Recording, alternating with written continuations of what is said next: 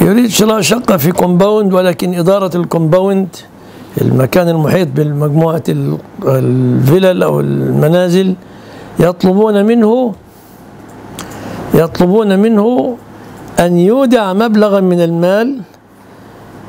عشر القيمة تقريبا يودع في البنك من أجل أن يأخذوا الريع الناتج منه وينفقونه على نظافة هذا المكان. فيأخذون الفائدة الربوية ينفقونها على نظافة المكان. أقول الأصل أن هذا لا يجوز لكن إذا كنت مضطرا لشراء هذه فلا بأس حينئذ والله أعلم.